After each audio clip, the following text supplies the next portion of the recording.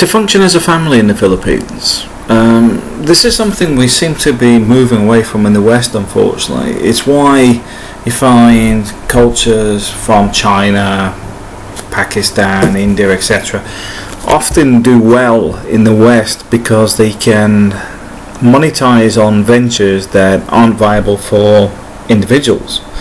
Uh, for example, you'll see the family run um, Chinese restaurant, you'll see the family run um, corner shop, etc., where the people that are in that rest, uh, restaurant or shop may actually already have another job, but they're obligated as a family um, to look after the main business, which is normally their parents. The Philippines, I find, works well in a similar environment. Um, I know a lot of expats will tell you, run away from the family, run away, move to another area. Myself, let's put it this way, I've renovated my in-laws bedroom and extended it this, well, the last two months. Um, and some of the guys will think, well, you're just crazy. Okay, um, I've got a municipal judge that's in the family. I've got um, a general in the the police. I've got um, fairly wealthy and influential members of the family, as well as the fact that my in-laws do a lot for me. Um, you probably heard me say about before where somebody will go get my groceries for me or somebody will process my paperwork. That's normally my father-in-law never grumbles about it. It's like when I wanted the water tower made, he welded it. No payment, just did it. You know, we just function as a group. And I'll be honest with you, like the West, if you can get people to pull in the same direction, everybody sees the benefit. Right now, we've got our properties to rent in the Philippines. There, there's two available at the moment, but I'm tempted to make two more available. Um, one of those will then become uh, the the rent off it will cover the cost of everything in our little domain. But at the same time, my in-laws will look after it without even asking for an income off it. they will look after our properties as their own. Um, they look after everything my car, my motorbike, etc. I know it's safe. No, I will be honest with you. I know other people have had major problems. For example, um, somebody's brother-in-law um, uses all the fuel in the vehicle that his well his brother-in-law uh, in the UK leaves when he leaves Cebu when he leaves him a full tank of fuel etc. Um, you'll find repairs who say, "Oh, the brakes are gone," and it's like, "Oh, how much is it? Ten thousand? And then you find out it's only been about six, and he's pocketed the other four. But not everybody is like that. You can take the assumption that everybody's like it, but it's a bit like the West. If everybody assumes everybody's ripping each other off, you get no progression.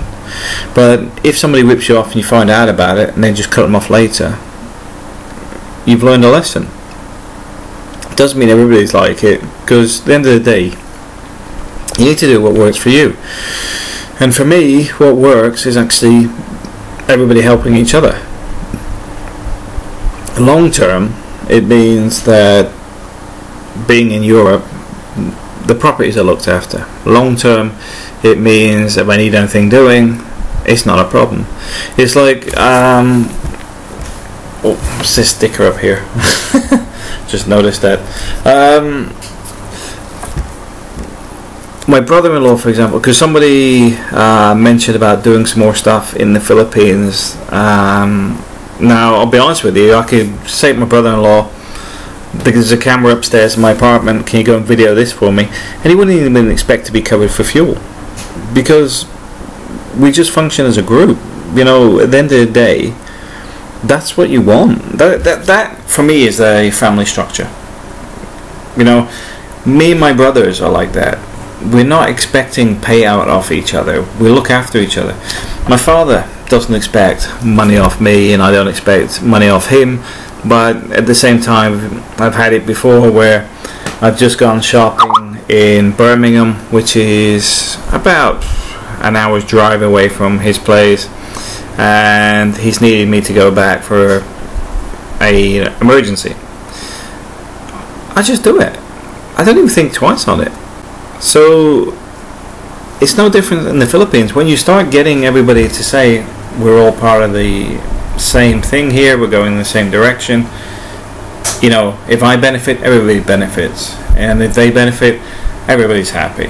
And that's one of the cultural things that I think expats could embrace more. And I know, like I said, I will be honest with you. I know a lot of people that have a lot of problems with their in-laws, but at the same time, I think a lot of it is how they deal with it. Because a lot of people were not confronting the right way. There's an etiquette to all this. It's about not people people not losing face, etc.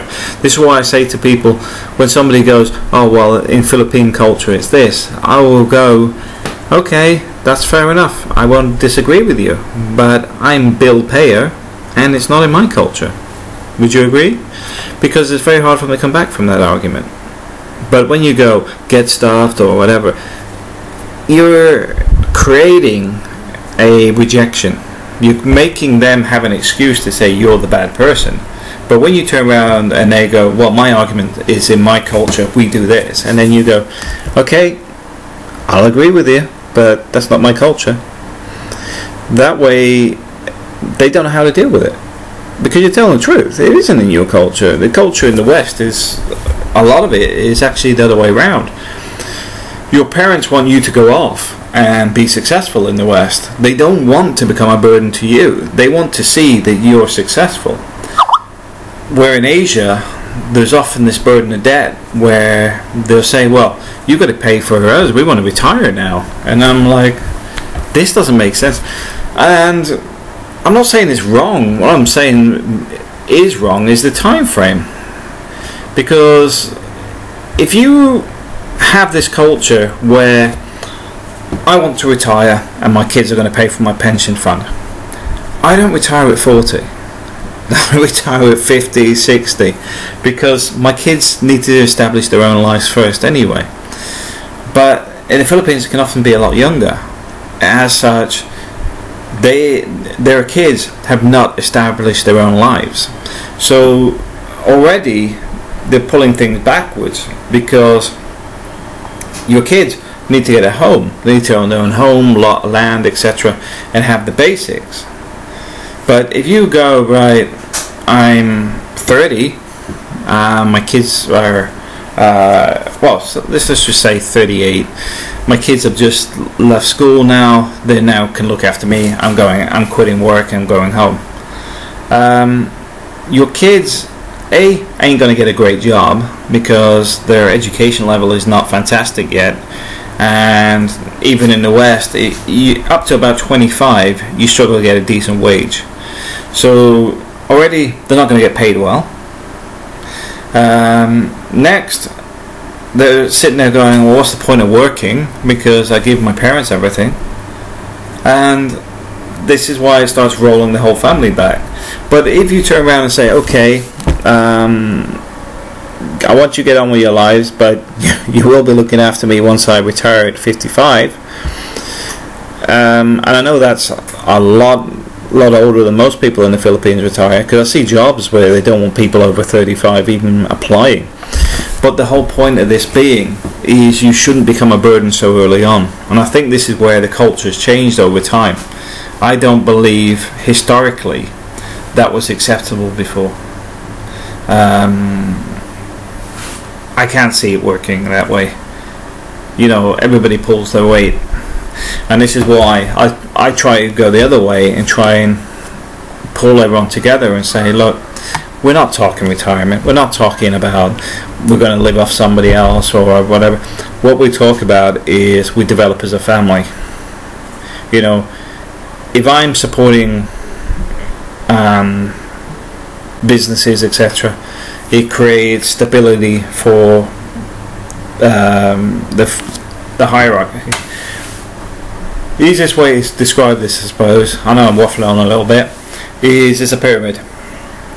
At the pyramid at the top is me, my wife, and then our kids, then my father-in-law, uh, mother-in-law, and sister and brother-in-law. Then it goes down to the extended family. You know, for example, it just goes down like that.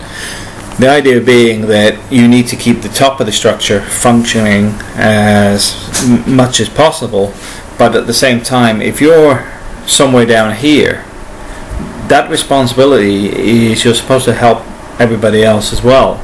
You're not supposed to become the burden of the person above you, who becomes the burden of the person above them, uh, blah blah blah, blah all the way up, or do what often happens in the Philippines. Everybody goes to granddad or whatever.